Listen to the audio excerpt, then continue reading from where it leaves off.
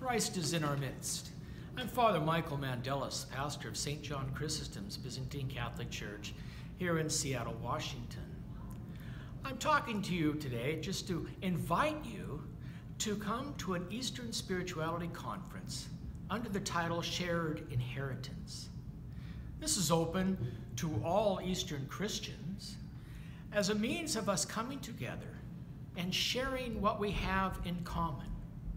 Our common thread is theology, liturgy, spirituality. Our traditions goes all the way back from Cyril Methodius all the way to Constantinople. In this world of ours, where there's so much struggle and darkness, it needs light. It needs the light of Christ. And we are coming together as Eastern Christians, Orthodox and Catholic, to learn how to live in a world that's darkened and make its our light bright. The speakers that will be presenting will be touching on themes of image and likeness and how we can go out and be the light of the world and not just evangelize to others, but to equip ourselves for growth in holiness and theosis. It's an opportunity to come and pray together, to listen to inspiring words, and share each other's experience as we eat together and we discuss the topics that have been presented.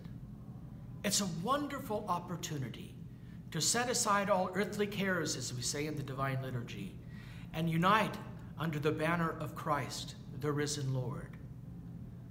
I look forward to seeing you all there. It will be a wonderful opportunity of faith expressing our love for God and our love for one another. The only thing that matters is our growth in holiness that comes from the grace of God and His divine energies bestowed upon us. Please join us and join us, all those who of different backgrounds of their Eastern Christian faith, as we share in the light of Christ.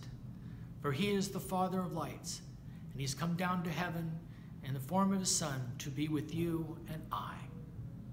This is our shared inheritance. Experience it as we learn more about this faith in our Eastern Christian Conference on Spirituality this May. God bless you.